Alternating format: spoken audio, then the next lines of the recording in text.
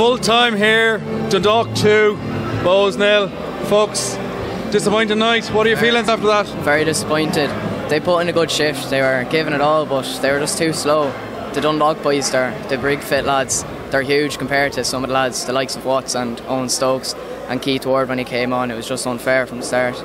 Yeah, you, you just have to look at uh, Pat Hoban up front, and like the guy's an absolute tank, and he, he was just, you know, he's just an absolute nightmare. And like even even when he went with five at the back, he was still creating a lot of trouble there. He's a real aerial threat.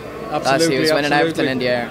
And uh, I suppose the um, the early goal is a killer, really. Like when you're when you're up against a team that's probably fitter than you.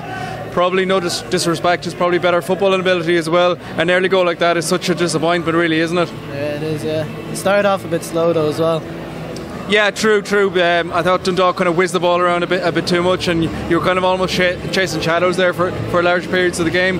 But to be fair, you know, hung on in and give it an effort. But it, I thought perhaps a, a difference in class, really, and, and I suppose that's the level that you guys need to get to. Yeah, it is. Just, well, I don't know. It's just Just disappointing night all around, really. yeah. Yeah. But look.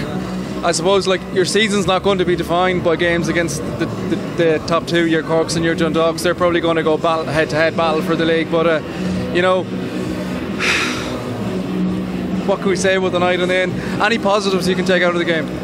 Uh, well, Dylan Watts started off really slow, but coming into the second half, he played a good few balls out to Keith Buckley, and Keith was swinging them in, so I was happy with those.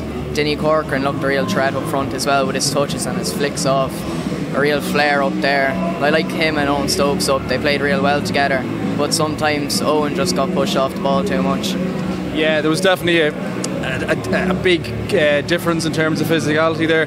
But at the same time, you know, I'm trying to think back of the game now, and I, I think of the one in the first half where the ball, where I was sure it was in, kind of flicked us across the goal line.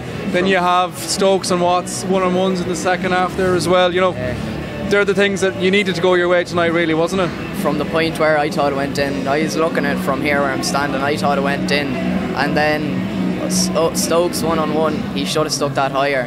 He turned your man, he tried to place it bottom corner, but he really should have put his foot through it.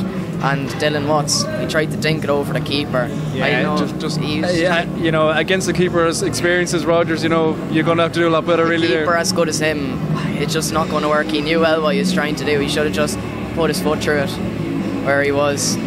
True, but um, yeah, look, there we are. I suppose I've, I've given Evan a chance to think of positives from the game. I'll let, I'll let you finish here now. Any positives you can take, really? well, yeah, started off second half very well, in my opinion. I think, and got robbed in the end with the end goal, in my opinion. So, but focus on the Dublin Derby next week and Absolutely, yeah. Well, at, least you have a massive, massive Oh. game to look look forward to, and you know it's the perfect, perfect game to get a reaction against. And well, look, there you are, folks. Uh, thanks very much for joining us, both. you. Both. Uh, make sure you subscribe to the Alright, YouTube subscribe. channel, Irish Football Fan TV. We'll talk to you all soon, folks.